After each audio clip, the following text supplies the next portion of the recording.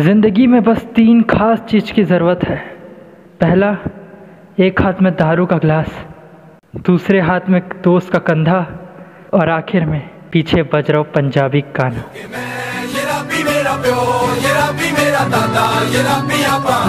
शराबी